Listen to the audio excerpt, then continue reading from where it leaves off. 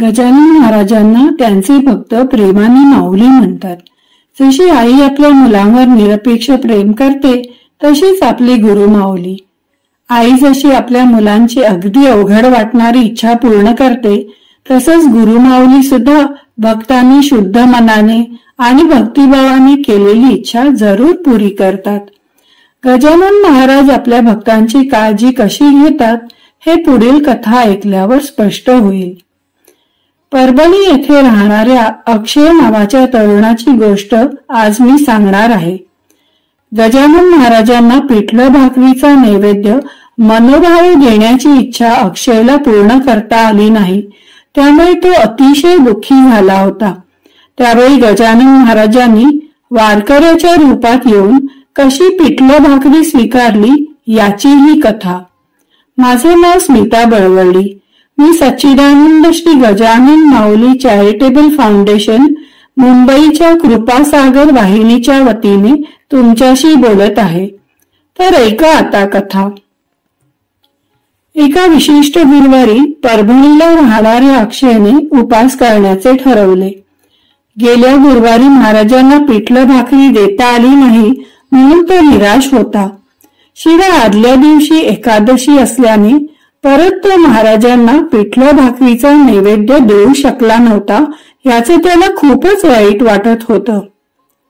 अक्षयच्या घरासमोरच श्री गजानन महाराजांचं मंदिर होतं आणि तो तिथे नियमितपणे सेवा करत असे.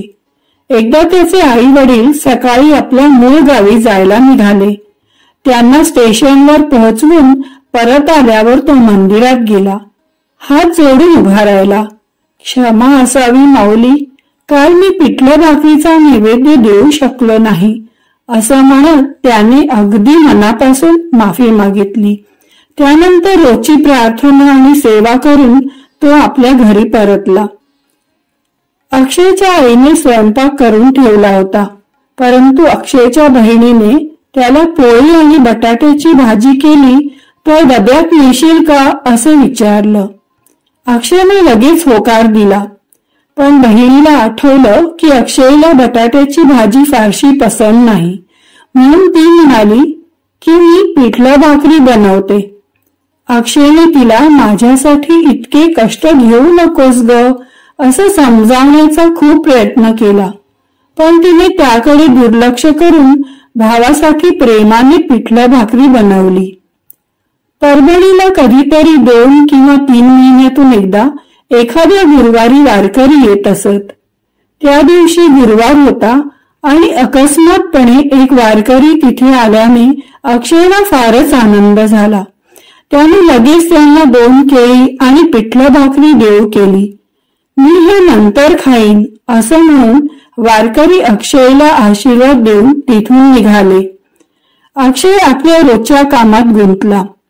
पण बहिणीने मात्र आपल्या भावना व्यक्त केल्या. महाराजांना पिठलं भाकरी देता आली नाही हे अक्षयच्या मनाला फारच लागलं होतं. म्हणूनच किंबहुना महाराज वारकऱ्याच्या रूपात येऊन पिठलं भाकरी त्याच्याकडून स्वीकारून गेले असावेत असे तिला प्रकर्षाने वाटत होतं. हे ऐकता क्षणीच अक्षय वारकऱ्याला शोधायला बाहेर धावला. पण कुठेही वारकरी त्याच्या नजरेला पडला नाही. की महाराज माझ्या भक्तीत इतकी ताकद असेल का की महाराज वारकऱ्याच्या रूपात अवतरले अशी शंका त्याच्या मनात आली. मंदिरात महाराजांसमोर उभं राहून अक्षय म्हणाला मी गोंधळलो आहे महाराज. तुम्ही खरंच वारकऱ्याच्या रूपात आला होतात का? तसे असेल तर मी परत चुकलो. आपली सेवा करण्याचे कर्तव्य पार पाडू शकलो नाही. मला क्षमा करा.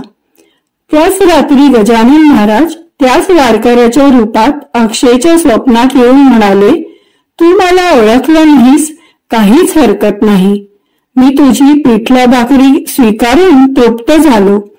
आता मनातून सगळे नकारात्मक विचार काढून टाक मी सदैव तुझ्या पाठीशी आहे. गजानन महाराजांच्या लीला अद्भुत आहेत. जो कोणी भक्तिभावाने त्यांची भक्ती करतो किंवा गजानन विजयाचे पठण करतो त्यांच्या मनोकामना नेहमी पूर्ण होतात. स्वप्नातून जाग झाल्यावर अक्षयला खूप हायसं वाटलं. महाराजांचा दयाळूपणा आणि उपकार याबद्दल त्याने मनोमन त्यांचे आभार मानले. आपुलकीने आणि निरपेक्षपणे माऊली आपल्या भक्तांच्या सर्व इच्छा पूर्ण करतात. जय गजानन जय गजानन.